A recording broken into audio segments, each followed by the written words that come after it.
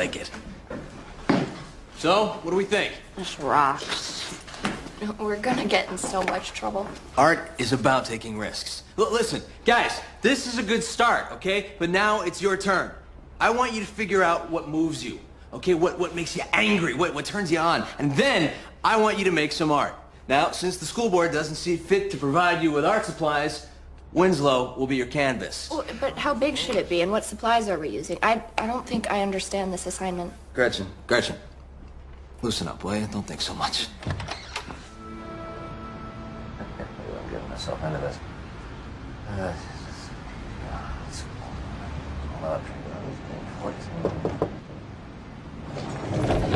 You know, it's really pretty weird the way you just sit here in your truck staring at the school and muttering to yourself. I'm having alone time. I'm almost done. You want to come in? No. So, you coming back next week? Yeah. Good. Good. Yeah. Good.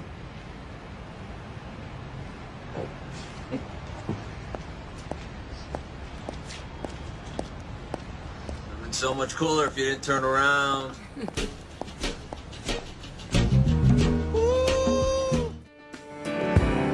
Mr. Patterson. I told Grace I wouldn't let you in, and I'm not going to.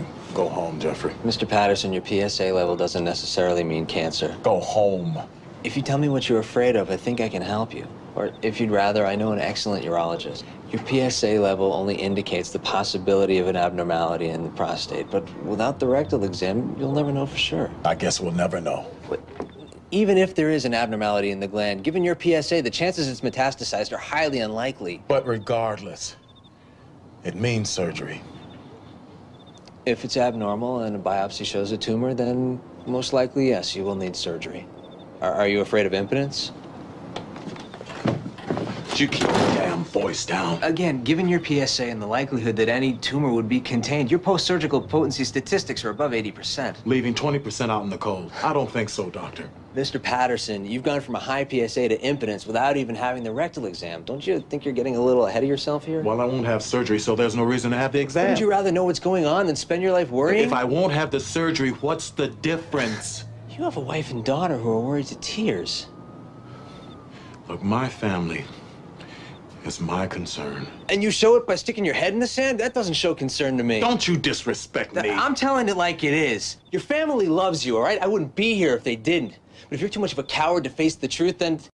Then, Mr. Patterson, I wouldn't worry too much about any surgery making you impotent because you already are. You okay? That was a miracle, Jeffrey. Still can't get past the irony that he trusts me with his health and not with his daughter. Well, maybe that'll change. Oh, yeah, maybe this broke the ice. I know it did. This was huge. You've got a lot of guts, Jeffrey. Yeah, well, I do when I'm motivated.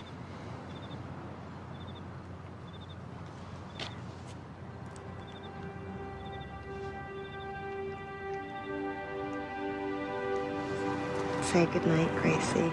Good night, Gracie.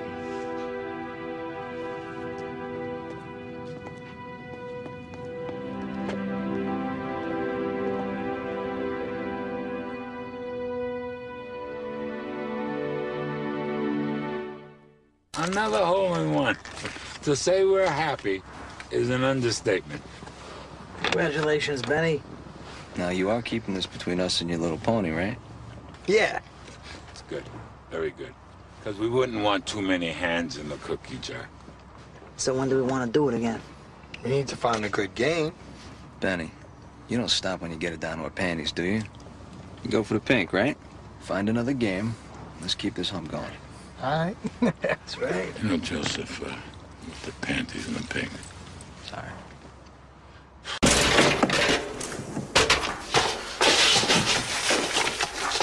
What are you doing here? You're asking me? Where are your friends? They're at Claude's party waiting for you. Party. Yeah, you know, that, that winter thing. Oh my god, they're in great danger! Get the key! Wait, wait, what kind of danger? Just leave it to me, okay? No way, if there's a problem, I'm coming with you. It's much too dangerous, believe me. Okay, now hold on a second, Hot Pants. There's no way that I'm gonna.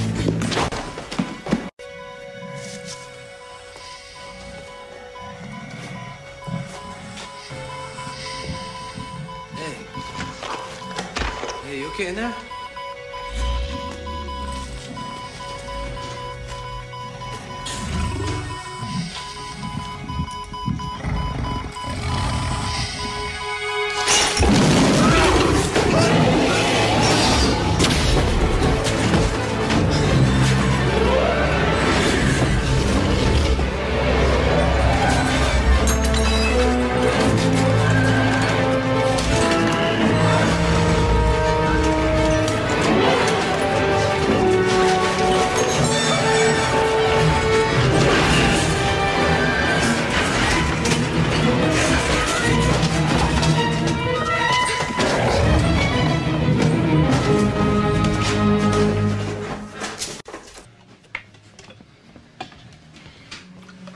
Know, I'm really not getting to play enough.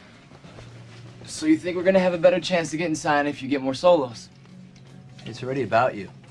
You know, you get the spotlight the whole show. This is supposed to be a band, right?